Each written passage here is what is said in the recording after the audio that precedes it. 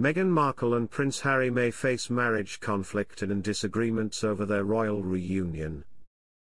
Prince Harry has announced his plans to return to the UK after his father, King Charles, was diagnosed with cancer, but it is unclear whether Meghan Markle will join him.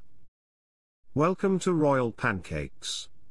Please don't forget to subscribe and click the notifications bell, so you don't miss anything about the British royal family. Meghan Markle and Prince Harry may face some problems because they have different opinions about their reunion with the royal family.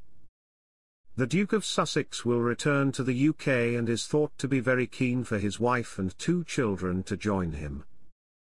However, Meghan is not so sure and is said to be apprehensive about reconciling with the company. The Duchess of Sussex finds her presence in the UK very uncomfortable, and has developed a very tense relationship with the royal family in recent years, a source said.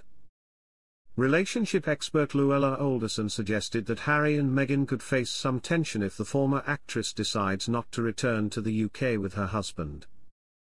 Luella told The Mirror, Meghan's concerns about returning to the UK could cause tension between her and Harry, especially if he is adamant that he wants her and their children to join him.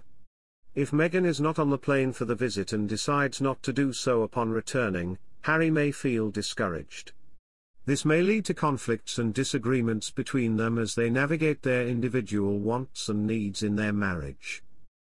She added, it is important for them to communicate openly and honestly about this issue to avoid any potential conflicts or resentment towards each other. They need to value and listen to each other's viewpoints and come up with a plan that will benefit both of them, their relationship, and their families rather than flatly ignoring each other's concerns or desires. Luella also explained why Harry may feel it's time for a royal reunion.